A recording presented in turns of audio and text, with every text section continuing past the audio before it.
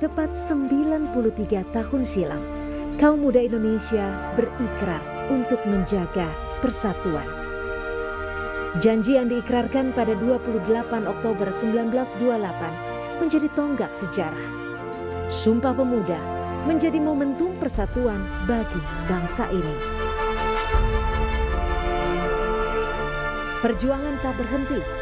Melalui wujud yang baru, pemuda masa kini kembali harus bersatu demi menghadapi pandemi COVID-19. Mira Silvina Amri, salah satu yang berada di garda terdepan menghadapi COVID-19. Di masa pandemi COVID, bersama rekan medis lainnya, Dr. Mira harus mencurahkan seluruh kemampuannya membantu warga yang sakit. Tantangan pejuang medis uh, adalah ketimpangan dari sense of crisis antara para pejuang medis dengan masyarakat, sebagian masyarakat awam.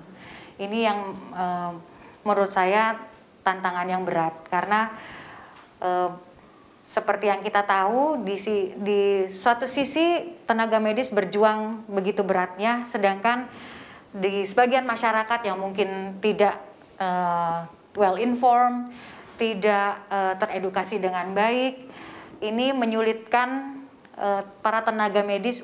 Tapi kita butuh kerjasama dari masyarakat tentunya. Tidak mungkin kami berjuang dari kami saja.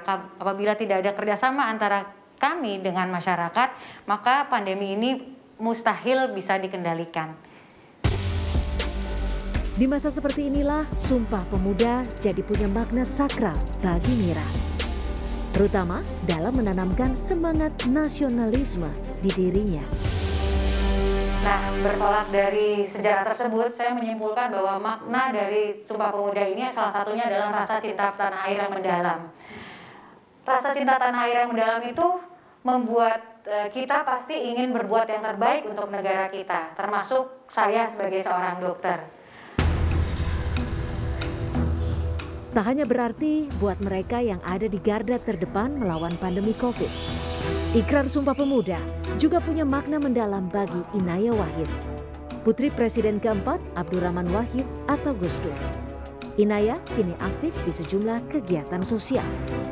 Bagi Inaya, anak muda memiliki peran penting dalam mempersatukan perbedaan untuk kemajuan negeri. Meski demikian dibutuhkan kerjasama kolektif agar Indonesia menjadi rumah yang makmur bagi seluruh warganya. Ini Indonesia ini adalah rumah dan kita pengen rumahnya sejahtera, rumahnya bagus, rumahnya aman gitu ya. Ya kerjanya bareng-bareng lah satu rumah, nggak mungkin cuma satu doang atau dua orang doang yang kerja gitu. Tapi ya semua bagian yang yang merasa punya rumah ya harus kerja gitu. Soal Sumpah Pemuda, Inaya punya pandangannya sendiri.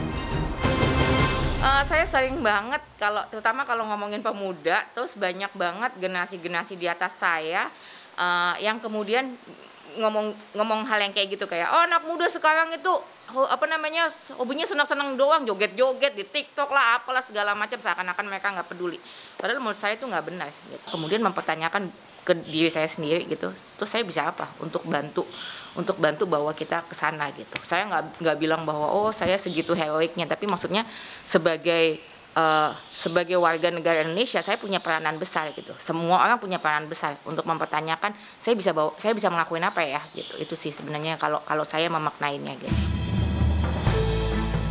Bersatu bangkit dan tumbuh Itulah yang menjadi tema peringatan Sumpah Pemuda tahun ini.